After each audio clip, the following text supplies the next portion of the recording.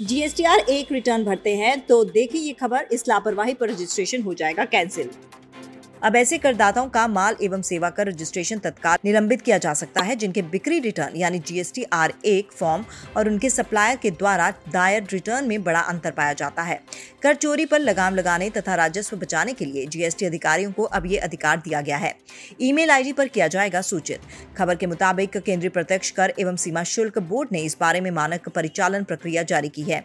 SOP के मुताबिक GST अधिनियम का उल्लंघन का संकेत देने वाली खामियाँ पाई जाने की स्थिति में अधिकारी तत्काल करदाता का रजिस्ट्रेशन रद्द कर सकते हैं। करदाताओं को इस बारे में उनके रजिस्टर्ड ईमेल आईडी पर सूचित किया जा सकता है। कुछ भी अंतर होने पर हो सकता है रद्द। एसओपी में कहा गया है कि जिन मामलों में रजिस्टर्ड व्यक्ति की तरफ़ से दायर रिटर्न और जीएसटीआर एक में सप्लाई की जानकारियों में और उनके सप्लायर के रिटर्न में दायर जानकारियों में बड़ा अंतर पाया जाता है तो इस मामले में रजिस्ट्रेशन रद्द किया जा सकता है। जीएसटी अधिकारी प्रक्रिया को तेज कर चुके हैं। एसओपी के मुताबिक जब तक पोर्टल पर फॉर्म रजिस्ट्रेशन इकतीस का समय पर सुचारू तरीके से काम उपलब्ध नहीं हो जाता है, तब तक करदाताओं को जीएसटी रजिस्ट्रेशन फॉर्म 17 में इस बारे में सूचित किया जा सकता है। करदाता लॉगिन करने के बाद नोटिस और आदेश देखें, टैब में इस बारे में नोटिस देख सकेंगे।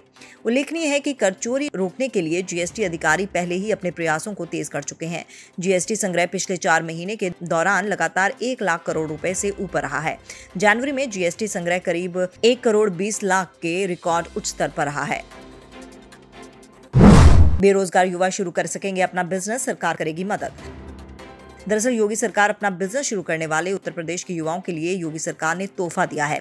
इसके लिए योगी सरकार कौशल विकास प्रशिक्षण कार्यक्रम के तहत ट्रेनिंग ले चुके प्रदेश के युवा अब अपना खुद का बिज़नेस शुरू कर सकेंगे। रोज़गार शुरू करने के लिए सरकार देगी लोन गौरतलब है कि ट्रेनिंग ले चुके युवाओं को खुद का बिज़नेस शुरू करने के लिए राज्य सरकार बैंक से लोन भी दिलाएगी। इसके लिए सरकार ने कई बैंकों से संपर्क भी किया है।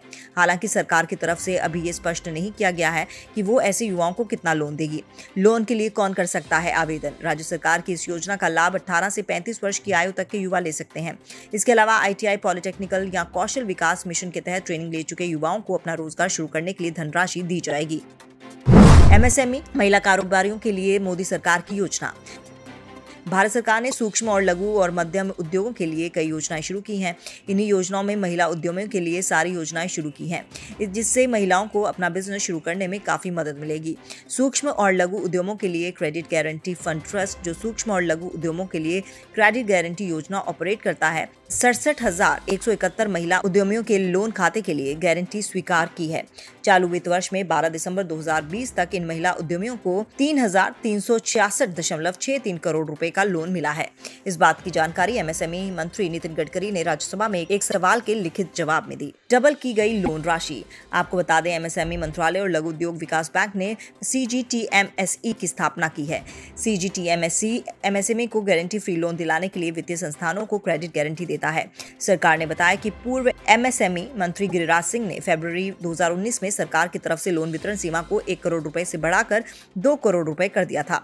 योजना की राशि बढ़ाई गई, इसके अलावा योजना का फंड भी दो दशमलव पाँच लाख करोड़ रुपए से बढ़ाकर सात दशमलव पाँच लाख करोड़ रुपए कर दिया गया।